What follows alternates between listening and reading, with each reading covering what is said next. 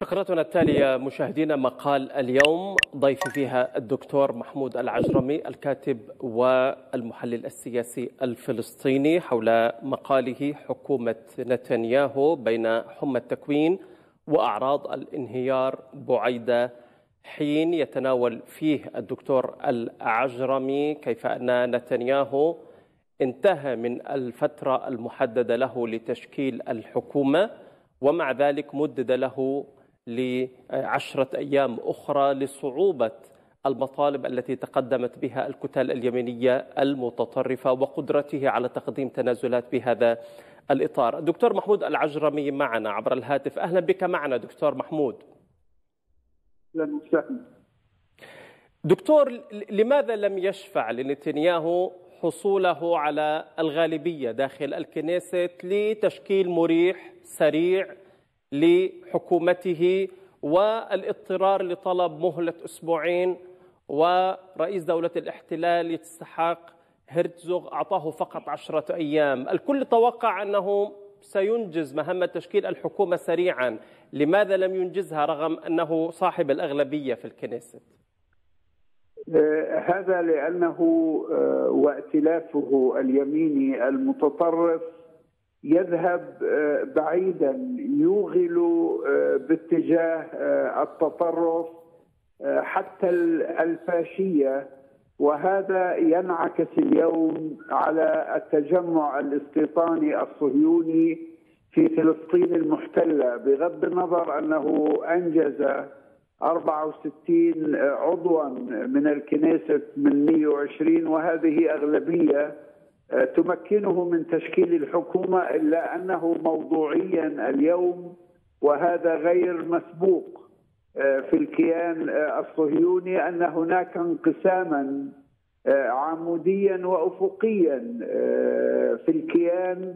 هناك معارضة شديدة تماما من كل التجمع الصهيوني على جبهة المعارضة.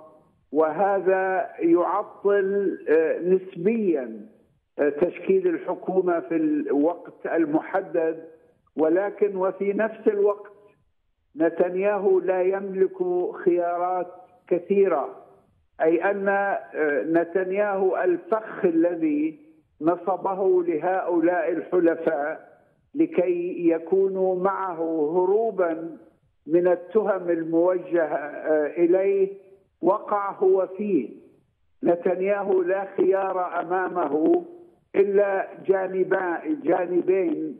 الجانب الأول إما الذهاب إلى انتخابات أخرى سادسة وهذا لا يخشاه التجمع أو الأحزاب والفصائل اليمينية المتطرفة الدينية والفاشية لأن المجتمع داخل الكيان يذهب بعيدا باتجاه اليمين وهو بالتالي يضمن النتائج في أي انتخابات قادمة ولكن نتنياهو لا يضمن شيء. نعم. خياره الآخر هو الذهاب للمحكمة والتهم الموجهة الموجهة إليه وأسرته. وهذا واضح أن نتنياهو مستعد لبيع كل شيء على الا يذهب إليه. نعم دكتور دكتور محمود لو لو أردنا إجمال أبرز التحديات يعني رغم أن طينة اليمينية المتطرفة هي ذات طينة بنيامين نتنياهو إلى أن هناك تحديات كبرى فيما بينه وبين هؤلاء زعماء اليمينية الدينية المتطرفة. أبرز التحديات أبرز الموانع التي تحول دون اتفاقهم فيما بينهم لتشكيل هذه الحكومة. يعني دعني أقول هنا أن نتنياهو يعتقد بأنه حاذق ومتلاعب ومناور ولكن لا أفق أمامه. أنا أعتقد أن التناقضات اليوم هي ليست بين نتنياهو والحريديين المتطرفين في الائتلاف الذي سيشكل الحكومة المرتقبة. التحديات التي أمام نتنياهو هي ليست في تشكيل الحكومة من الزاوية الفنية. إنها بعد أن يشكل الحكومة كيف يمكن له أن يواجه تحديات من نفس الائتلاف الحاكم أمام انصرافهم نحو مصالحهم والناخبين الذين انتخبوهم ومطالبهم. بالذهاب يمينا نحو حكومة دينية أصولية كاملة. هذا تحدي له في الأداء وليس في التشكيل. إلى جانب تحدي آخر له علاقة بالمعسكر المعارض الآخر وهو معسكر واضحة تعاليمه أو يعني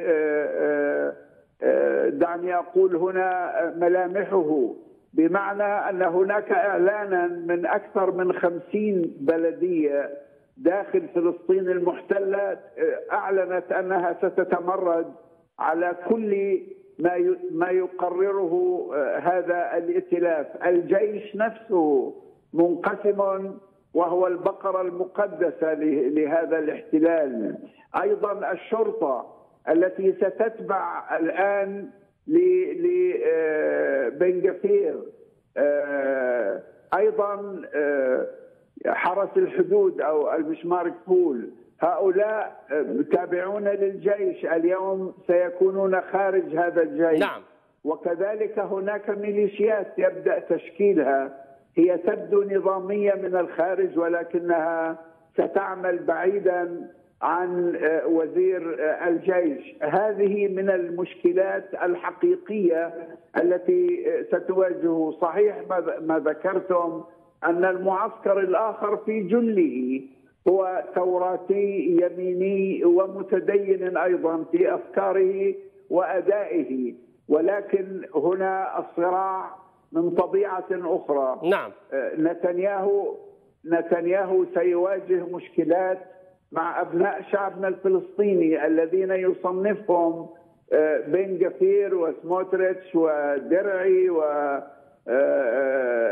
دي هاتوراء إلى آخره. يعني كل الأحزاب نعم وبقية الأحزاب الصهيونية المتطرفة يصفونهم تسمية بأنهم إرهابيون. هناك أكثر من مليون وربع مواطن فلسطيني من المنزرعين في أرضهم يعتبرون إرهابيون. نعم. هذا كله سوف ينفجر وأنا هنا لم أتحدث عن الضفة الفلسطينية المحتلة والانفجارات القادمة. نعم. كذلك نتنياهو سيواجه معارضات حقيقية أمام إحراجات أوروبا الحليف وكذلك الولايات المتحدة وتصريحاتهم اضحت واضحة.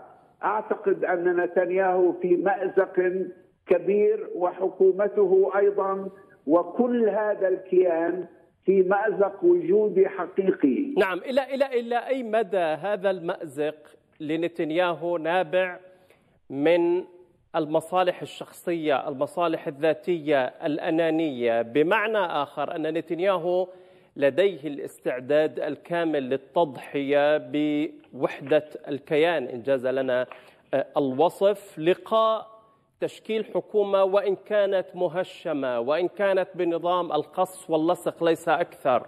إلى أي مدى الطموح الشخصي لنتنياهو يمكن أن يفجر الكيان من الداخل؟ هذا أعتقد من العناوين الرئيسة التي سوف تواجه نتنياهو هو اليوم يخالف حتى القوانين الأساسية لدولة الاحتلال. هو يدمر البنية بنية النظام السياسي بنية النظام المجتمعي الصهيوني الاستيطاني وكذلك مؤسسات هذا الكيان. هو يذهب بعيدا في تدمير كل ذلك مجتمعيا مؤسسيا ونظاما. هو على سبيل المثال حين يجري عزل رئيس الكنيسة الحالي ووفق القانون يجب أن يستمر حتى تقدم الحكومة تشكيلاتها ويجري التصويت بوجود رئيس الكنيسة الذي تم عزله إلى جانب أنه أنه أصدر عدد من مشاريع القرارات على سبيل المثال ما يسميه الإعلام الصهيوني مشروع قانون ابن غفير قانون درعي قانون سموتريتش. وهذه كلها تجاوز للقوانين الراهنة. هو يريد أن يعين وقد نجح في خطواته الأولى يريد أن يعين درعي الذي عليه جريمتين جنائيتين. وهذا غير مسموح به في في أن يكون وزيرا. هو نعم. تجاوز ذلك إلى جانب سموتريتش. عليه قضايا كثيرة وممنوع أن يكون.